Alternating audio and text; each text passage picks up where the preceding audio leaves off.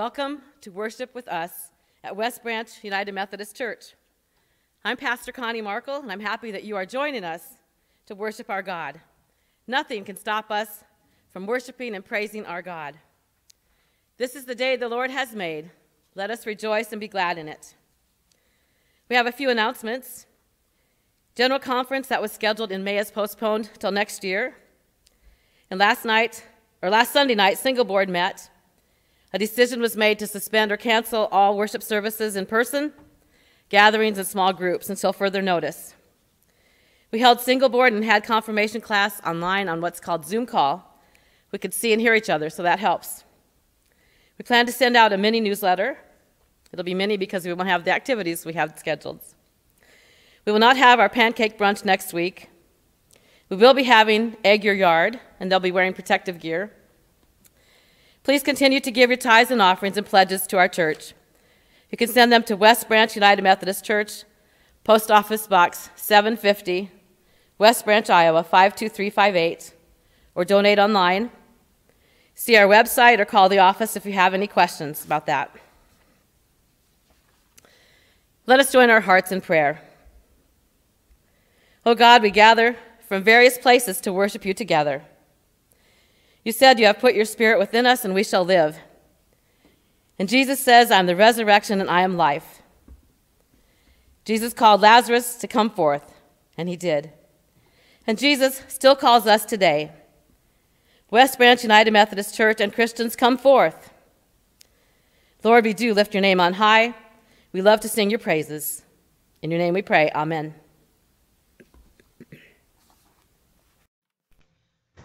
Please join me in the call to worship.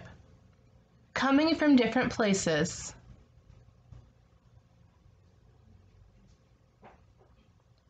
the Holy Spirit wants to breathe new life within us.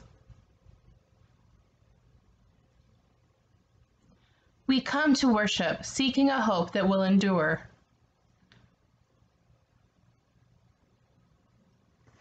Amen.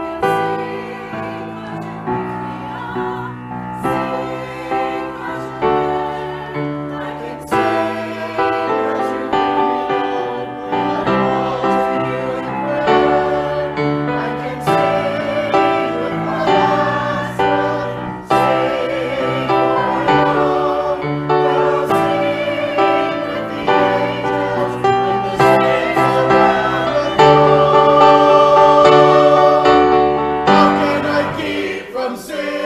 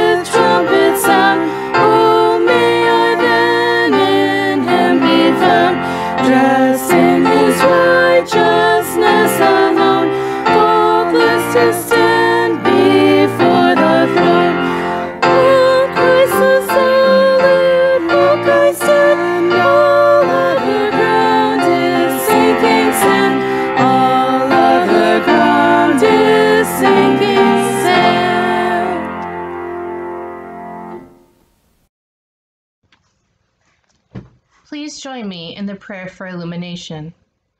God, may we listen to your word with open ears and open hearts. Encourage our hearts, give us hope that will not disappoint, and strengthen our faith, we pray. Amen. Our scripture for today is from Romans 5, beginning in verse 1.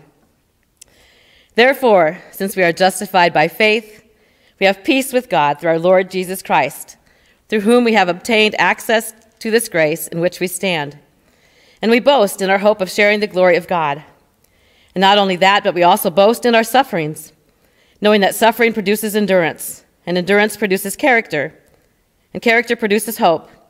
And hope does not disappoint us, because God's love has been poured into our hearts through the Holy Spirit that has been given to us. May God bless the reading and hearing of God's holy word.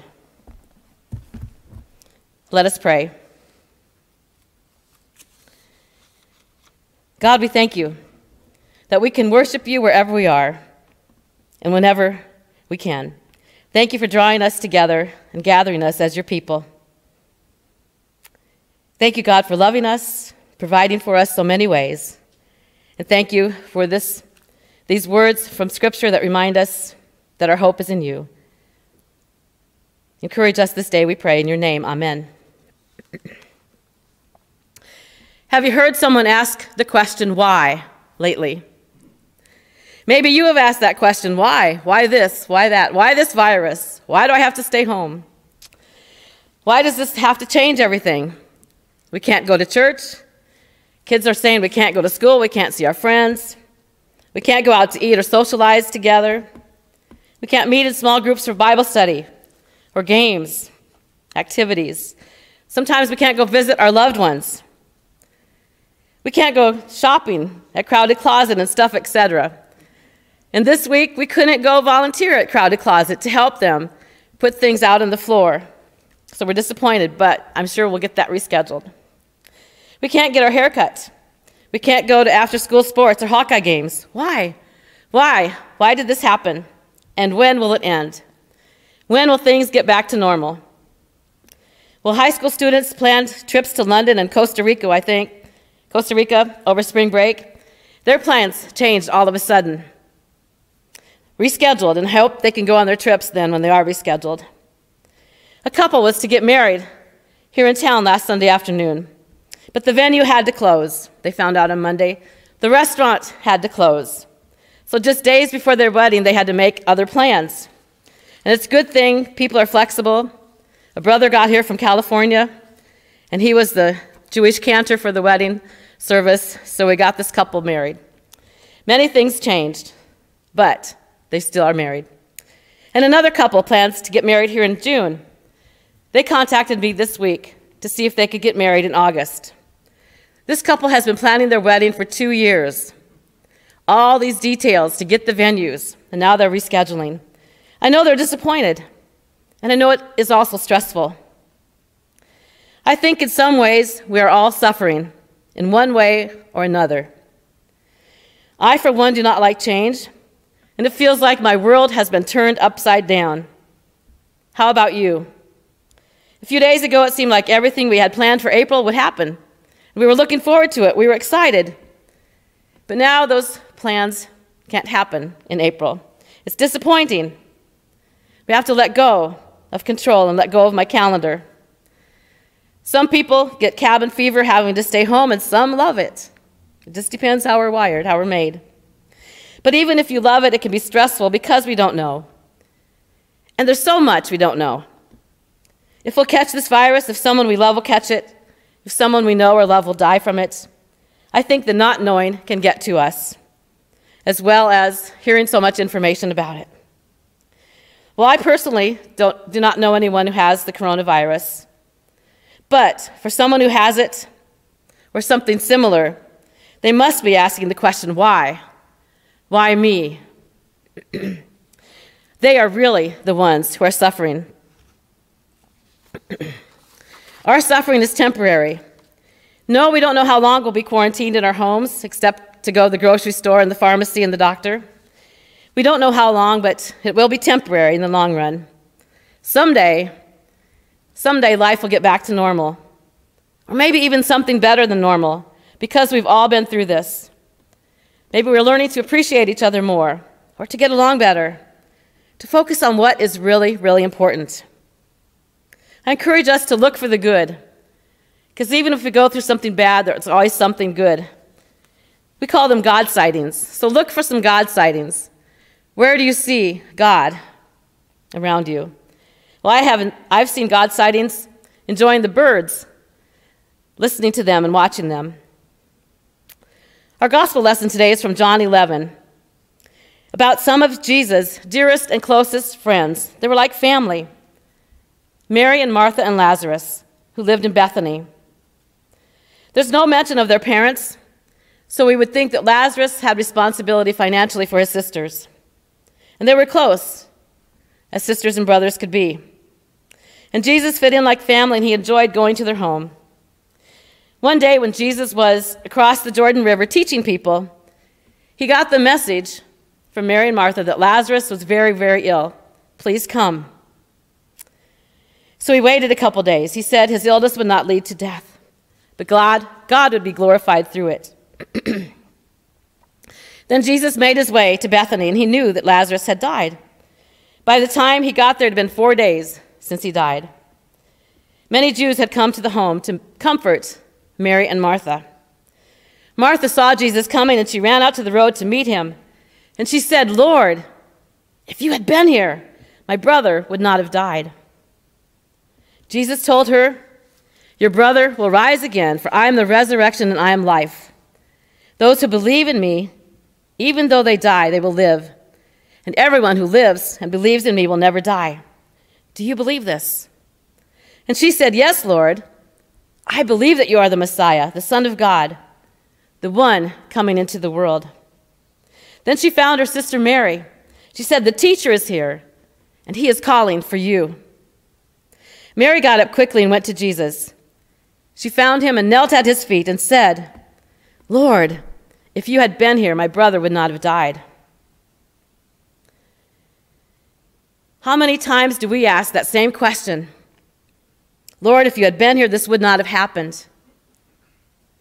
Lord, if you had been here, this wouldn't have happened. We may ask that in disappointment, in sorrow, in anger or rage, in sadness or confusion or pain from our broken heart. Well, it's good to know that Jesus saw Mary's tears. He saw Martha's tears. He saw the tears of the Jews around them comforting them, and he was greatly disturbed. And people could see Jesus' tears too. He said, Where have you laid him? They said, Come and see. And someone said, Could not he who opened the eyes of the blind man have kept this man from dying? Jesus came to the tomb, and it was like a cave with a stone rolled across it. He said, Take away the stone. But Martha said, Lord, it's going to stink. He's been there four days. She was concerned about that.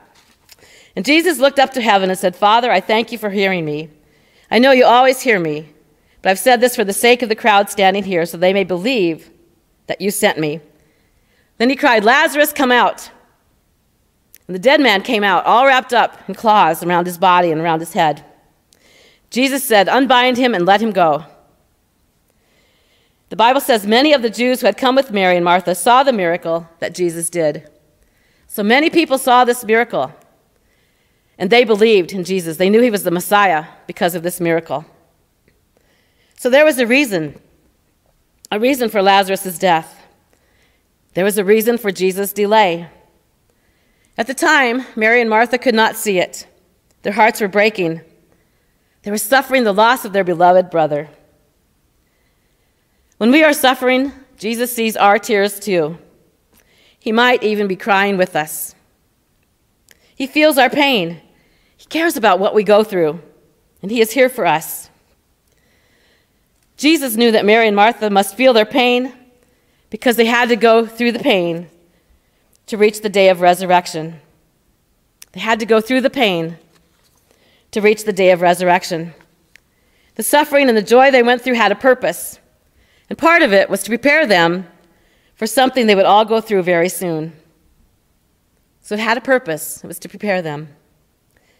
And Jesus knew in a few days his life would be changing dramatically. He knew the last week of his life on earth was coming soon. He knew he would have to suffer tremendously and die. But he also knew he would rise again. Whitney Rice says, and I quote, Jesus letting Lazarus die and then calling him back to new life was a gift to Mary and Martha and Lazarus, to the disciples and to us. Jesus knows he is about to go through the same process with much higher stakes and much more pain. He loves them and lets them see there is life after death, not just for him, the Son of Man, but for all people, for regular people, for friends of Jesus, and for us. Jesus said, Lazarus, come out, and he did. Unbind him and let him go. We too can be unbound from our fears, our lies, our grief, and our suffering. Resurrection is freedom, and resurrection is new life. End of quote. So I'd like us to ask us to ourselves what is binding us? What is holding us back? And can we name it? We can ask Jesus to help us be unbound and free, to let it go. Romans 5 says God's hope does not disappoint us. Life has its ups and downs, its challenges and opportunities. Sometimes life can be very exciting, and sometimes it can be disappointing. And God has made promises to us no matter what life throws at us, no matter what suffering we, we might endure, no matter what storms may come our way, Jesus died and rose again to give us the gift of heaven. A young couple adopted two boys, and then they found out they were expecting a baby. They were told they were expecting a baby girl. And Tricia Divings shares her story of suffering. She said there were complications at 18 weeks. At 25 weeks, contractions began, way too soon. They had to do an emergency C section. And she says, Our Eliza Grace was born. One and a half pounds, 13 inches long, tiny, but perfect.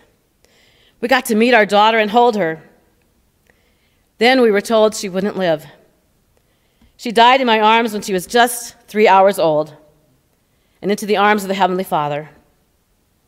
And Tricia says, I've never really been challenged in my faith until I was standing at the grave of my baby girl.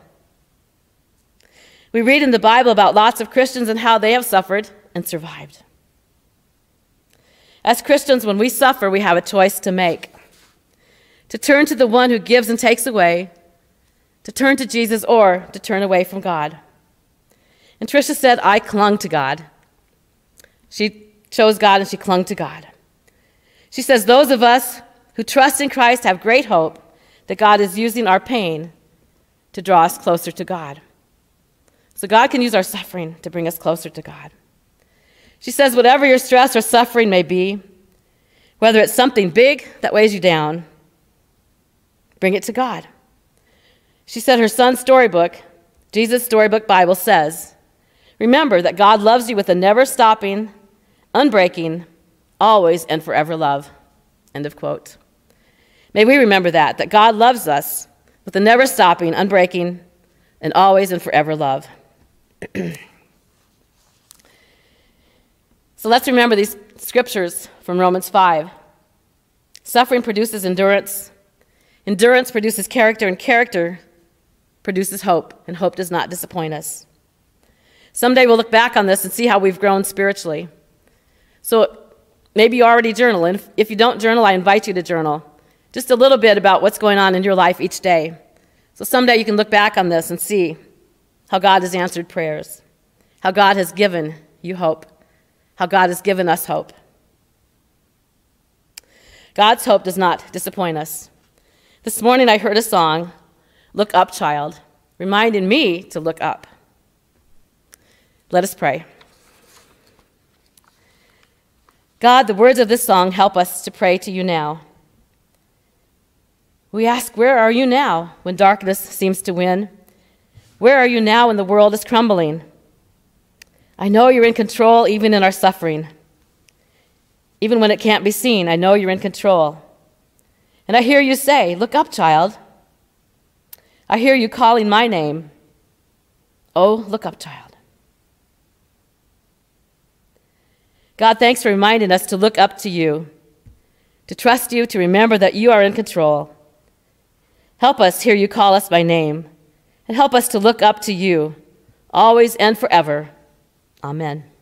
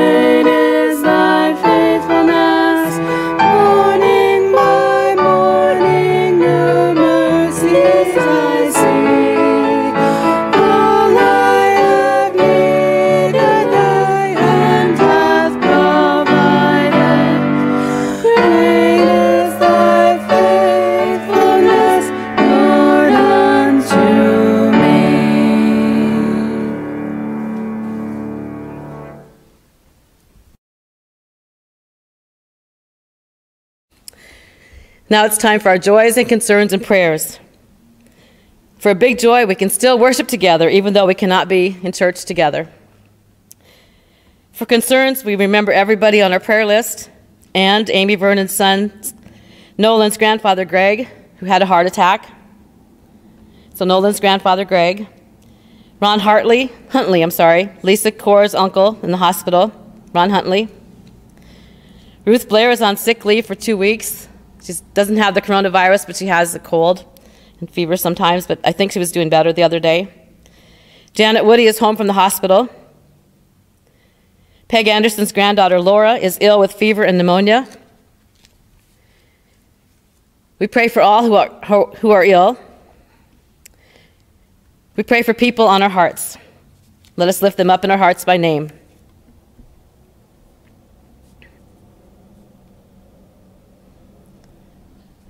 Lord, in your mercy, hear our prayers. We pray for our congregation that we'll be strong through this difficult time, that we reach out to each other by phone calls and texts and emails and cards of encouragement. We pray for all who need your touch, your mercy, your grace. As we deal with the unknown, as we do our best to cope with reality. Give us your strength and help us stand in your promises. Lord, in your mercy, hear our prayers.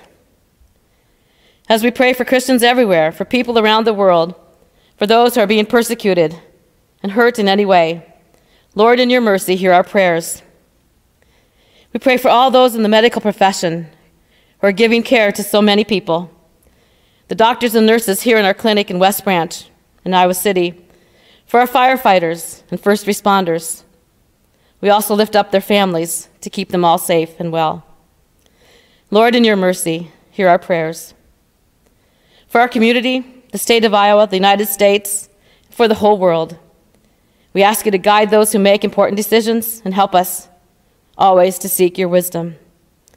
Lord, in your mercy, hear our prayers. And now let us pray our Lord's Prayer together. Our Father, who art in heaven, hallowed be thy name. Thy kingdom come, thy will be done, on earth as it is in heaven. Give us this day our daily bread, and forgive us our trespasses, as we forgive those who trespass against us. And lead us not into temptation, but deliver us from evil. For thine is the kingdom, and the power, and the glory. Amen.